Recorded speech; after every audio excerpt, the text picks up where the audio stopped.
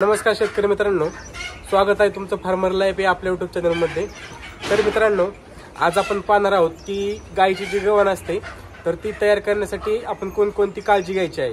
तर मित्रांनो व्हिडिओ जो आहे तो शेवटपर्यंत पहा जेणेकरून तुम्हाला सर्व जी माहिती आहे तर ती व्यवस्थित समजेल. तर मित्रांनो जी गव्हाणीची मापे वगैरे आहेत ते आपल्याला किती प्रमाणात ठेवायचे आहेत? आणि दुसरी गोष्ट म्हणजे ज्या गव्हाणीच्या कड्या वगैरे असतात तर त्या काही दिवसानंतर काय होतात की लूज वगैरे होतात. आणि त्या बाहेर काही काही वेळेस निष्ठो सुद्धा येतात तर त्यासाठी आपल्याला कोणती काळजी घ्यायची आहे?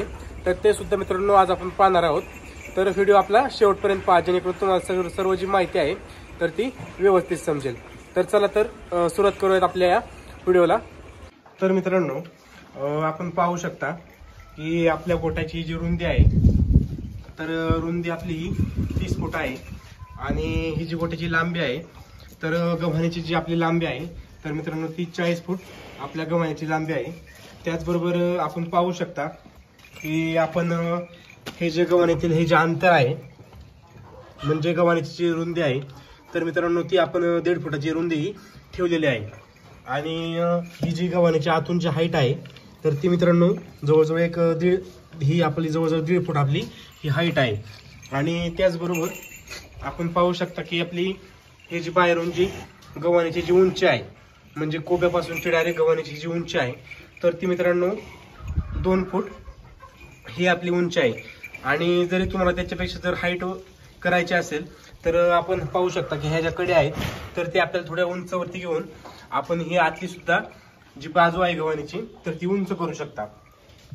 तर आपण ही कशा प्रकारे तयार केलेली आहे तर ते आज आपण पाहणार आहोत. तर मित्रांनो आपण पाहू शकता की याच्यामध्ये आपण हे कडापे आपण टाकलेले आहेत. की जेणेकरून ज्या ज्यावेळेस आपण पाहू शकता की हे जे मटेरियल वगैरे गायींचे जे शिल्लक असेल ते आपल्याला जर काढायचे वगैरे असेल तर ते आपल्याला सोपे पडते. आणि दुसरी गोष्ट म्हणजे याच्यामध्ये तर तुम्हाला पाणी वगैरे सुद्धा गायींना पाजायचे असेल तर ते सुद्धा सोडता येते. तर त्यासाठी आपण पाहू शकता की त्या साईडपासून आपण या साईडला हा गव्हाणीमध्ये आपण उतार काढलेला आहे. आणि या मागच्या बाजूला आपण येथे हा पाईप काढलेला आहे. आणि त्याचबरोबर आपण येथे पाहू शकता की इथे होल ठेवलेला आहे. की जेणेकरून तुम्हाला दावण सुद्धा स्वच्छ करायचे असेल पाण्याने वगैरे धुवायची जरी असेल तरी ती आपल्याला धुता येऊ शकते. आणि पाणी वगैरे सोडायचे असेल तर हा जो पाईप आहे बाहेरील तर त्या पाईपाला आपण वाल वगैरे बसवायचा आहे आणि पाणी सोडायचं आहे. त्यामुळे काय होते की गायांना पाणी वगैरे सुद्धा पिता येते.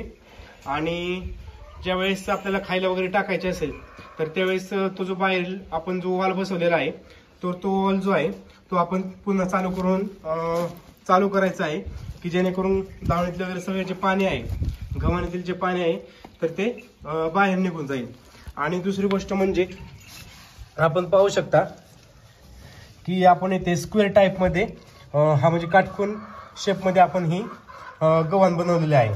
तर मित्रांनो असे न करता आपण हा जो शेप आहे तो रे अशा जे सिमेंटचे पाईप असतात राऊंड शेपमध्ये तर ते येथे आपण आपण सिमेंट थोडासा राऊंड शेप तयार करून घ्यायचा आहे. तर ते कशासाठी तर ते मी तुम्हाला सांगतो. तर आपण पाहू शकता की इथे या कोपऱ्यामध्ये ही जी कुट्टी अडकलेली आहे तर याच्यामुळे अं, ते ते कुट्टी अडकल्यामुळे ही जी कुट्टी आहे तर तिथे ते खराब झालेली आहे. तर याच्यामुळे काय होते की ही जी कु खराब झालेली जी कुट्टी आहे तर त्याच्यावरती अजून कुट्टी साठत साठत आपण पाहू शकता अशा प्रकारे कुट्टी ते साठत जाते. तर त्याच्यामुळे ही जी कुट्टी आहे तर ती खराब होत जाते.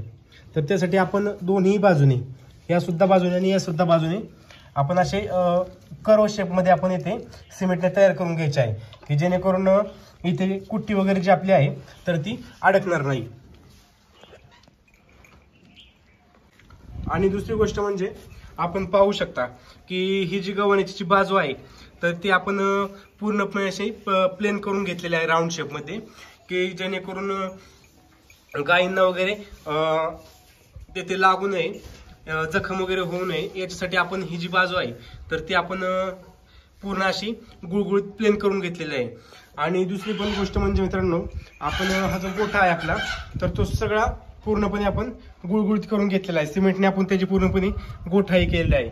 तर याच्यामुळे ते काय होते की गोठ्यामध्ये आपल्या एक सुद्धा गोचड निर्माण होत नाही. त्याच्यामुळे गायांना एक सुद्धा गोचड सुद्धा होणार नाही. आणि मित्रांनो दुसरी गोष्ट म्हणजे आपण ह्याच्या कड्या आहेत.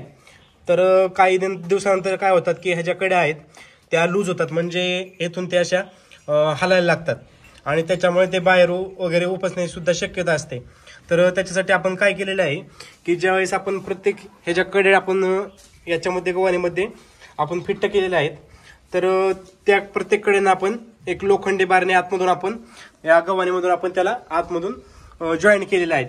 की जेणेकरून सगळ्याकडे जॉईंट असल्यामुळे आपली ही जी कडी आहे तर ती अजिबात हलणार सुद्धा नाही. कितीही गायने झटके वगैरे दिले तर ती लूज सुद्धा होणार नाही. आपण पाहू शकतो की जवळजवळ आपल्या गोठ्याला दोन वर्ष पूर्ण झालेले आहेत. तरी सुद्धा अजिबात सुद्धा इथे जागा वगैरे म्हणजे फट सुद्धा तयार झालेली नाही. आणि ही जी आपली कडी आहे तर ती कडी सुद्धा अजिबात हलत नाही.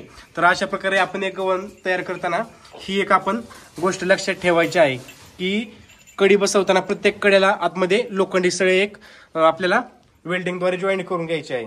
तर मित्रांनो तुम्हाला आजचा व्हिडिओ कसा वाटला? तर आपल्याला कमेंटमध्ये नक्की सांगा. व्हिडिओ आवडला जास्तीत जास्त शेअर करा लाईक करा. आणि आपल्या युट्यूब चॅनल जर सबस्क्राईब केलं नसेल तर आपल्या युट्यूब चॅनलला नक्की सबस्क्राईब करा. धन्यवाद.